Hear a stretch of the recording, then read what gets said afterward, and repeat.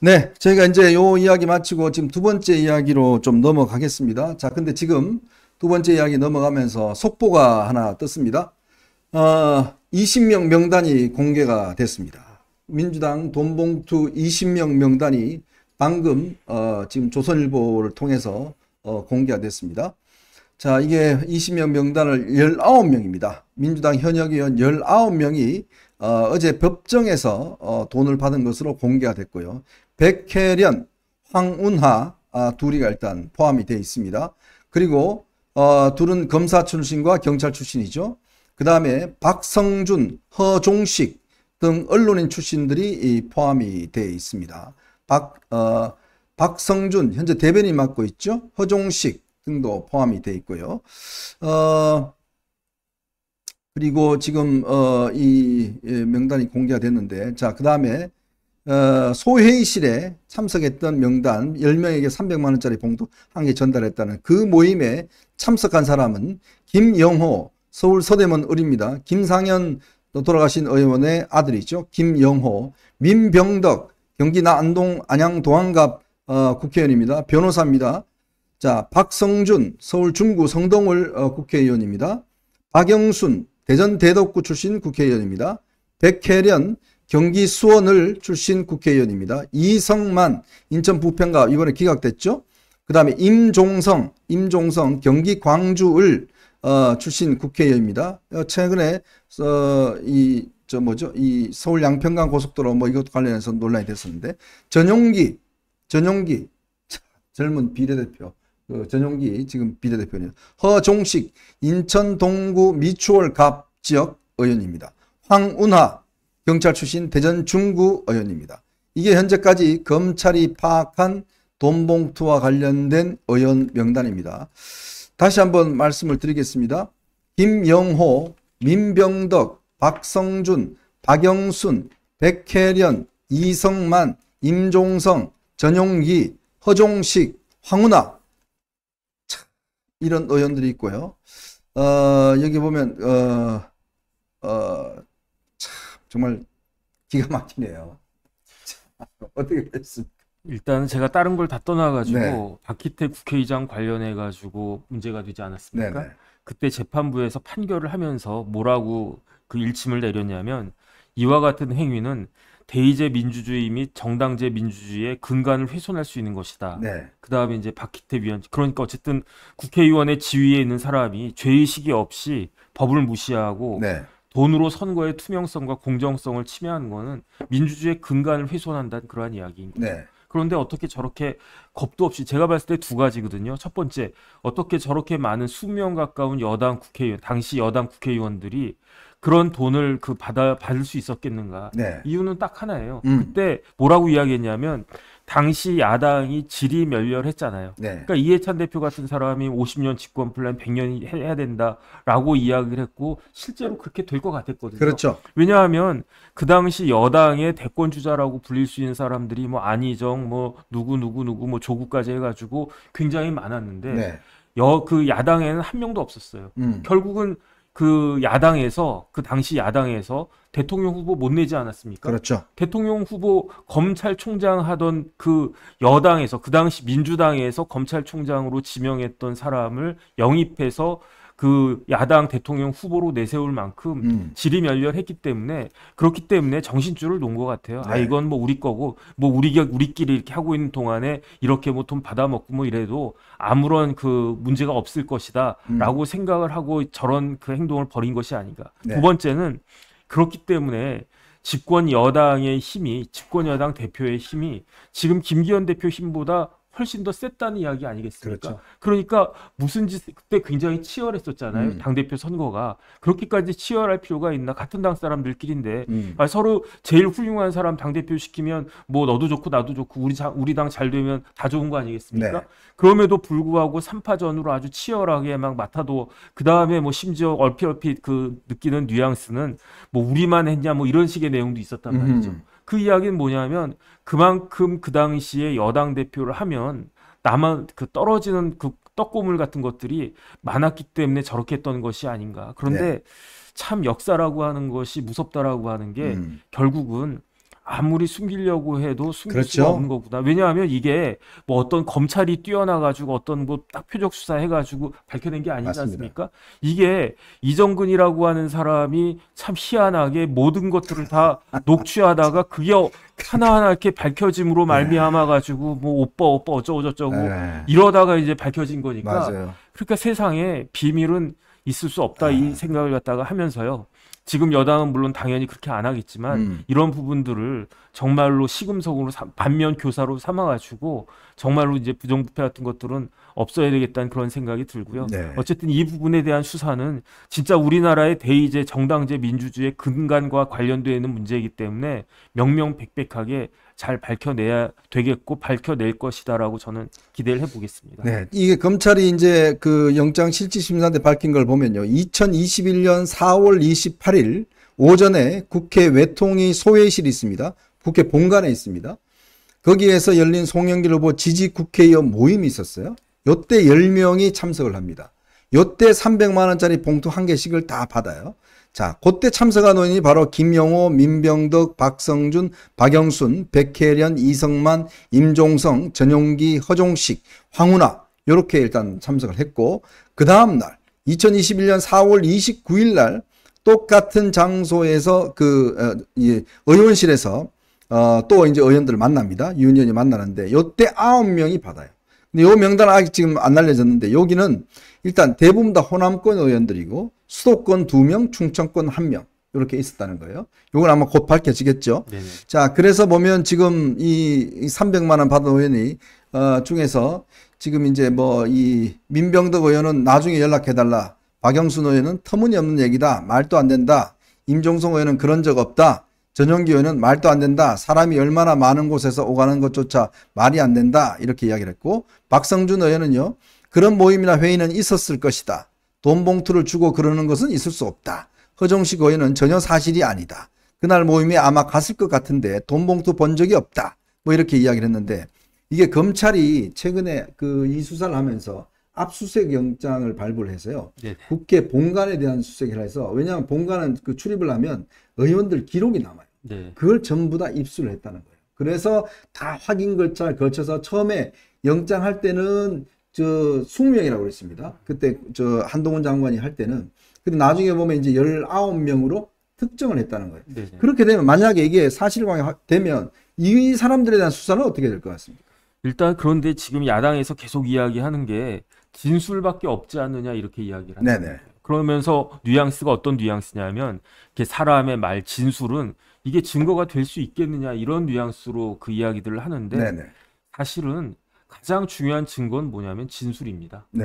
그러니까 그 자백, 그 더군다나 이제 그 범죄를 했다라고 하는 그 범죄자 네. 피고인의 자백은 옛날부터 증거의 왕이라고 그랬어요. King 네. of evidence라고 그랬거든요. 그렇기 때문에 그 만약에 이제 공범이라고 할 수 있는 그런 다른 사람들에 의해 가지고 진술을 통해 가지고 왜냐하면 음. 이런 경우에 뭐 서면이 있겠습니까? 뭐 화면이 있겠습니까? 아니면 뭐 기록이 있겠습니까? 그렇죠. 있을 수가 없는 거기 때문에 음.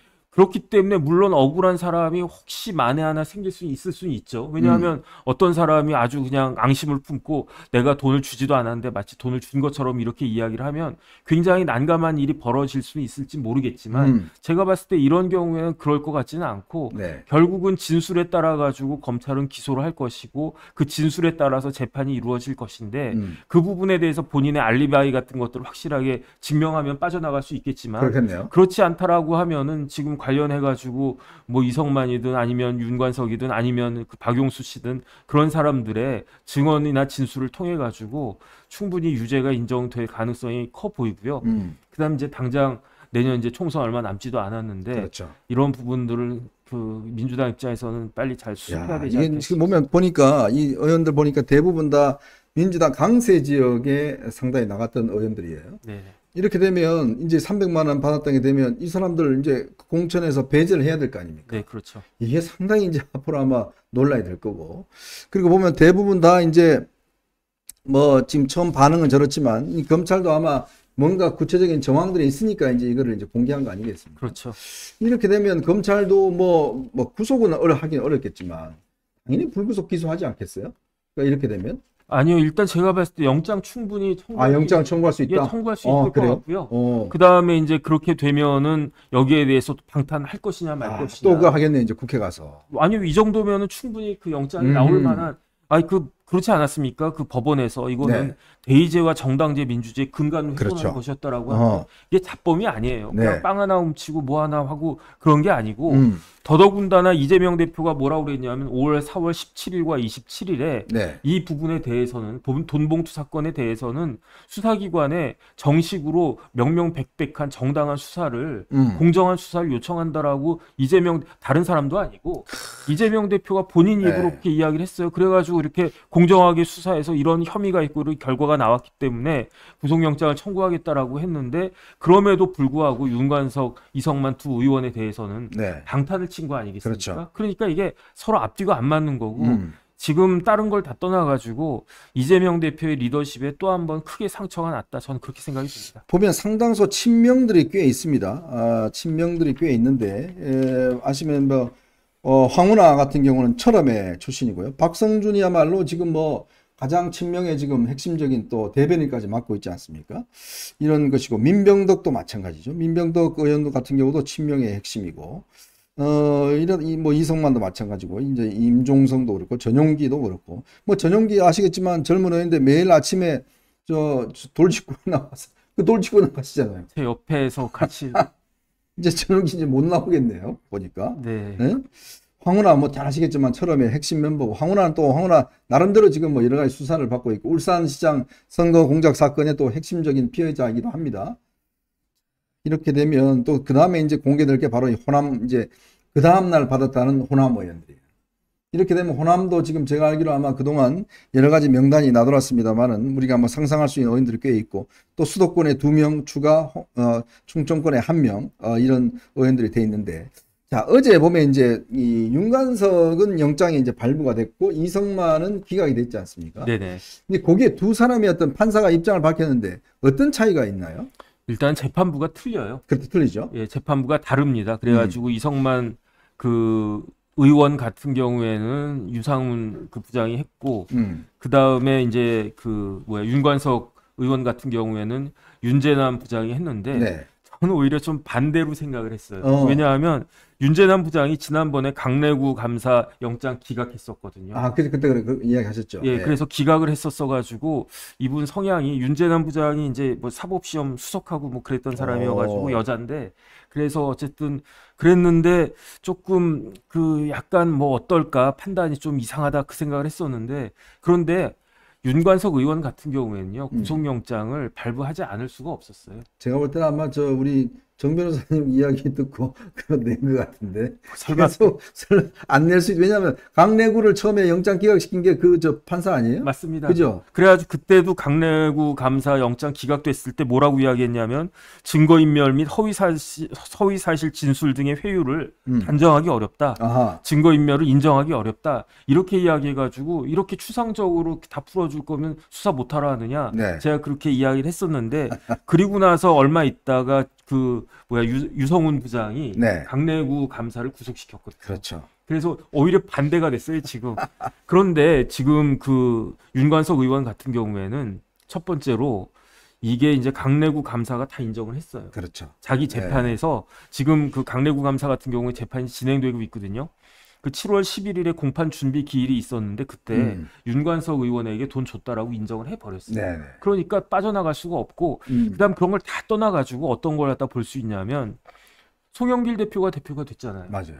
그러면 송영길 대표가 임명할 수 있는 당직 중에 최고 핵심적인 노른자위가 어디겠습니까? 사무총장이죠. 사무총장이잖아요. 네. 누구 시켰습니까? 음. 윤관석 시켰잖아요. 음. 그러면 윤관석이 아무 일도 안 했는데 사무총장 시켰습니까? 음. 만약에 이성만 의원이 윤관석 의원과 같은 역할을 했으면 네. 사무총장 이성만 의원 되지 않았겠습니까? 맞아요. 일단 그렇기 때문에 모든 정황상 윤관석 의원에 대해서 구속하지 않을 수 없는 음. 그런 상황이었던 거고 네. 그 다음에 이제 이성만 의원 막 뭐라고 뭐라고 이렇게 말씀을 갖다가 하시던데 그 법원에서 유 부장이 뭐라고 이야기했냐면 아저 양반 혐의 없다라고 이야기한 게 아니에요. 음. 혐의 사실 다 인정이 되는데 네. 지금까지 수사가 나름 충분하게 이루어져서 음. 이성만 의원 같은 경우에는 증거를 인멸할 수 있는 가능성이 별로 없기 때문에 아하. 그렇기 때문에 불구속 그 재판 불구속 수사 불구속 재판이 원칙이기 때문에 지금 구속은 안 할 필요 없다 음. 이 논리였지 그 이성만 의원이 억울하기 때문에 뭐 그 정치 검찰이 뭐뭐 이성만 의원 잡아 넣으려고 굳이 검찰이 정치 검찰까지 할 필요가 있겠습니까? 그렇죠. 그러니까 이거는 정확하게 이제 그 판단을 갖다가 해야 될 것 같고요. 음.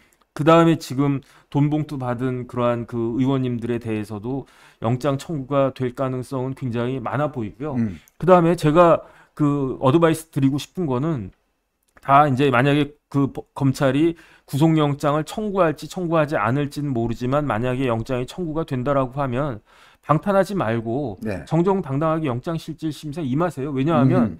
이성만 의원 영장 기각되지 않았습니까? 그렇죠. 그러니까 괜히 방탄 쳐가지고 뭐 이런저런 그 의심받고 뭐 요거 얻어먹느니 그냥 음. 정정당당하게 영장실질심사 해가지고 거기서 기각 받아내면 네. 어쨌든 내년 임기까지는 떳떳하게 이제 의정생활, 의정활동 할 수 있을 테니까 저는 그렇게 하시는 게 좋겠다는 생각이 듭니다. 보니까 이제 이게 다들 어, 제가 아까도 말씀드렸습니다만 지금 공개된 어, 의원들을 보면 꽤 그래도 지역구가 뭐 공천이 거의 뭐 탄탄하다라는 의원들이 꽤 있습니다.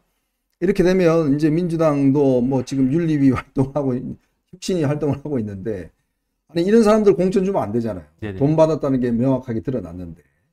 왜냐면 상당히 이제 내부에 이제 정치적인 어떤 파문이 많이 일 것 같습니다. 더군다나 지난번 한동훈 장관이 그 이야기 했죠. 어, 체포동의안 할 때, 아니, 그 돈 받은 분들 지금 이 찍잖아요. 라고 이제 이야기까지 했지 않습니까? 그리고 국민들의 여론이 이제 이거는 용납하지 않을 겁니다. 이 돈 받은 의원들에 대해서 다시금 국회에 진출한다? 이건 말이 안 되는 거죠. 왜냐면 이게 국회라는 게 무슨 돈 받은 사람들의 무슨 뭐 다 모이는 곳이 되면 안 되지 않습니까? 이렇게 되면 앞으로 정치적인 파장도 꽤 클 것 같아요. 이렇게 되면 이재명 대표의 어떤 이 위상이나 영향력 이거 자체가 뭐 이번에 뭐 많은 뭐 일단 지금 우리가 앞에 이야기했던 김은경도 그렇고 김은경도 지금 너무 황당한 일이 벌어졌고 또 이 돈봉투연이 뭐 했고 완전히 저 휴가 가는 중에 더군다나 또 김성태 뭐 등등 하면서 이제 또 조사도 봐야 되고 진짜 이게 완전히 사면 초과가 아니라 뭐 칠면 팔면 초과가 돼버린 것 같아요. 그러니까 저는 어떤 생각이 있으냐면 지난번에 이제 체포 동의안 그거 할때 네, 결국은 품맛이 방탄하는 거 아닌가 싶어요. 그렇죠. 어차피 어허. 내가 봐줄 테니까 너도 나 할 때 봐줘라 이런 식의 그 방탄 품맛이 한 것이 아닌가 네. 그런 생각은 들고요.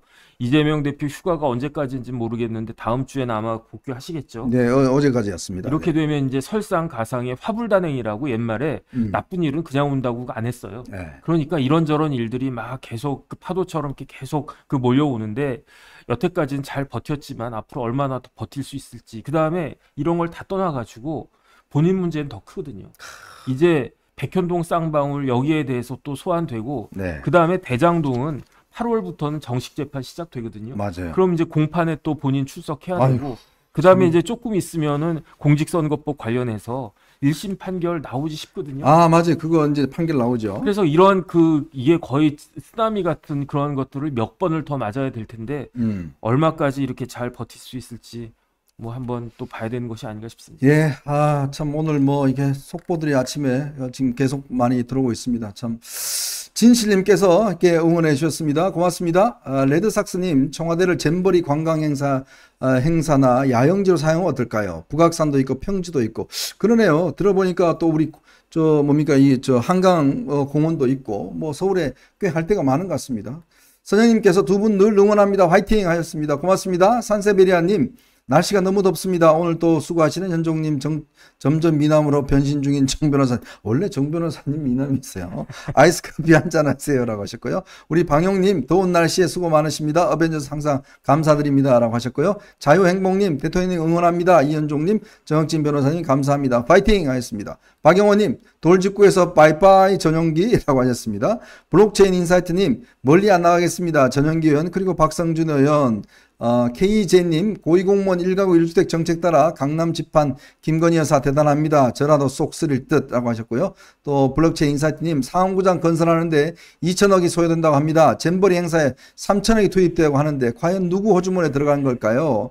김선아님, 이현종 의원님, 정혜진 변호사님 두 분이 계속 늘 든든하고 응원합니다. 라고 하셨습니다. 불사시님 민주당 해체가 답입니다. 라고 아주 시원하게 이야기해 주셨습니다. 콘디오스님 축하 축하 고맙습니다. 이계희님 어, 혜련아 니 같은 것이 우리 동네에 세 번째로 해먹고 있다니 아 수원에 사시는군요. 고맙습니다. 아지엄마님 에이 어, 형님 저도 주세요 라고 한 놈이 죄송졌구나. 그 두 개 달라고 이야기했던 거. 뭐이 용기 저 아, 돌족구에서 안 보게 돼서 정말 시원합니다라고 하셨고요. 성맹이님 고맙습니다. 강인수님 고맙습니다. 네 여러분들 많은 성원 고맙고요. 저희가 어, 또 이렇게 삼행시 지어줬습니다. 어, 김은경으로 우리 저 제가 한번 오늘 띄워보겠습니다. 김 치는 익을수록 깊은 맛이 나고 김은 은발이 될수록 고개를 숙이는 게 사람인데 경 경망한 새치어로 국민을 우롱한 당신 사필 규정입니다. 네, 참 나서지 말아야 될 때를 나서면 이렇게 온갖 이야기가 나옵니다. 그리고 오늘 저희가 동시 시청자 수가 2만 3천 명까지 저희가 접근을 했습니다. 어, 저희가 어벤져스 치고는 가장 많은 어, 또 동접자를 기록했습니다. 오늘 또 우리 정 변호사님 오셨다고 이렇게 많은 분들께서 오셔서 너무 감사의 말씀을 드리겠습니다. 자, 저희